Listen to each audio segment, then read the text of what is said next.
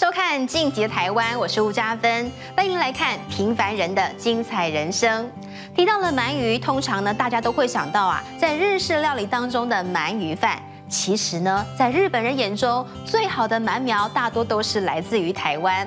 台中有一家鳗鱼饭专卖店，老板刘选豪啊，特地到产地云林口湖，亲自挑选最好的鳗鱼来料理。凭着好食材，让他们家的店就算是平日依旧是高朋满座。不过，成功的背后，刘选豪也曾经一无所有。当年九二一大地震就震碎了他的家，让他成了受灾户。那一刻，他发愿绝不向命运低头，要让家人过更好的生活，也是他努力成为鳗鱼饭达人的最大动力。就算你淘气牙牙，这群小家伙仍展现满满活力。云林口湖的养殖池里，上千只鳗鱼经过十个月养殖，每一只都肉质肥美。十个月是日本人最爱的，就是一公斤四尾的。俗称黑金的鳗鱼，从鳗苗养到成鳗。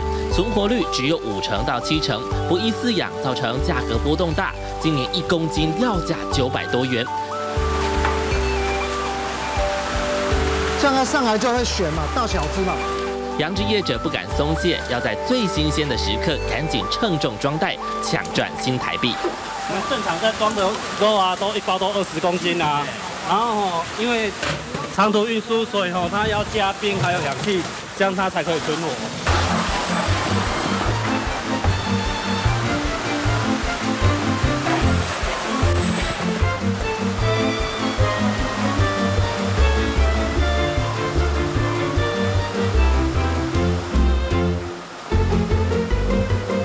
雄青的鳗鱼一半直接外销日本，剩下的直送处理厂接下第二棒。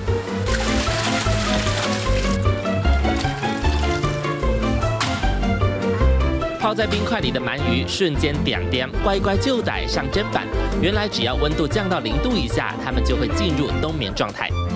没有刺啊，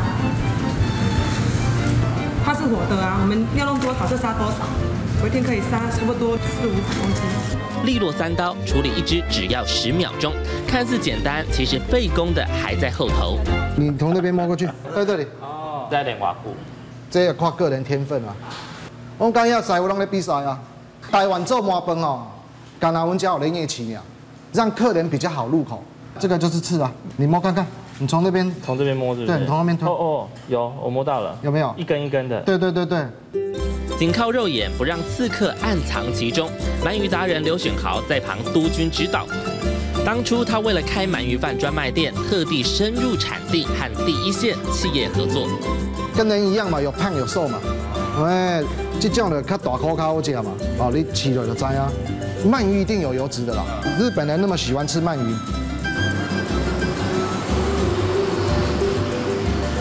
晋升完毕的鳗鱼，在低温冷冻下送往刘选豪的台中店面，让人流连忘返的超级美味，才正要揭开序幕。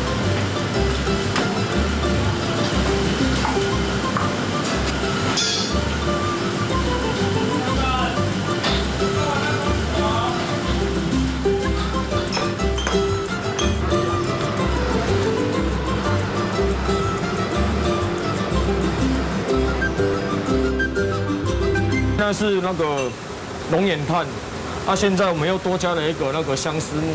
相思木，对，它差几个？相思木的烟比较少，龙眼炭的话木头会比较香。不止木炭千挑万选，鳗鱼上烤台还必须在黄金八分钟锁住鲜味。它的皮一定要烤，不然的话它吃起来会像橡皮筋那样，不可以太焦，太焦会苦掉。我那本鞋关三米，它那边保水分比较好。这个就是鳗鱼的灵魂了。鳗鱼的灵魂。对对对对对，鳗鱼饭要好吃，就是要这这个这样。由苹果、洋葱、米酒、红枣等食材熬煮十二小时以上的特制酱汁，淋在白饭，撒上海苔，并放上现烤鳗鱼，让饕客闻香而来。泰中蛮多朋友都是会推荐这里，对，算是慕名而来。然后入口即化，搭配它的饭，饭它有用酱汁下去做滋润，所以不会很干。为我觉得跟平常我在外面买的那个鳗鱼不太一样。然后这个像现烤的，就感觉很软。摸在上面的时候，你觉得温度有透到手的时候，翻面就可以了。就是我觉得它这个海苔，它这样子弄很有特色，因为通常台湾人烤肉就是把肉放在上面烤，我第一次烤海苔，海苔搭配着这个这个鳗鱼跟这个饭放上去，它里面就是蛮 juicy 的。自己敢吃的东西才会给客人吃的，这样子是最完美的了。你家己在做，你家己物件唔敢吃，那也是那是会使。我每天呢都在试鳗鱼啊，哎，今天的鳗鱼来了，口感好不好啊？它的新鲜度够不够啊？六年级生刘选豪靠着精致的鳗鱼饭，在台中打下一片天，甚至还前进台北开了分店。一身料理功夫是从小就开始奠定基础。到高中毕业，到底真卡，爸爸在种水果了。爸爸说，种水果就不会赚钱，要出去学一把功夫。对啊，他不希望你待在家。对啊，住在山上没有用啊，就做日本料理的时候，十六岁都把我丢在那里。哎，以前学徒还要帮师傅洗衣服嘞。谦卑肯做，师傅自然愿意教，使得他学到更扎实的功夫。不过，一九九九年一场九二一大地震，让他人生顿时急转直下。要退伍前十天，九二一房子就倒了，哇，这真的晴天霹雳了。我们那是透天的嘛，它整个六楼压下来，变成三楼，它摇摇摇摇摇，砰砰断掉。我们当兵班那么多人，那么多人过世了，我们我们人没有怎么样，算还可以重新再来了。房子倒了，爸爸一辈子的积蓄五六百万也瞬间化为乌有，几乎是人生的最低潮。但更惨的还在后头。刘选豪听从朋友建议，摆摊当老板，在市场卖起童装，结果八个月赔了近百万元。那时候就是卖小朋友衣服嘛，那卖了就没有钱了啊，积蓄也都拿出来了。那时候老婆后来就去上班了嘛，都嘛花老婆的钱，把老婆钱呢差不多要花光了。那时候还他还没有当我老婆呢，女朋友而已嘛。山不转路转，天性乐观的刘选豪回到餐饮业当主厨，但创业梦始终在脑海盘旋。沉寂了三年，他决定再放手一搏。我们在开店都开不起来，真的会吃土啊！哎呀，会夹头呢。失败那么多次，哪里有那么多精神，那么多金钱？为了做出最道地的鳗鱼饭，他还特地前往日本竹地市场考察，在市场一站就是好几个小时。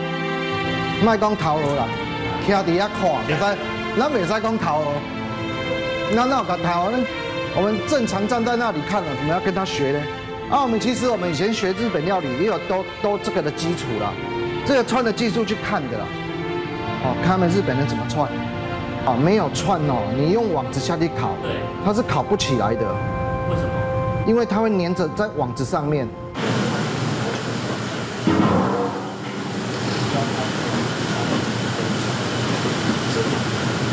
鳗鱼蒸过，它的口感会比较好，还有它的刺会软化掉，可以一起入口。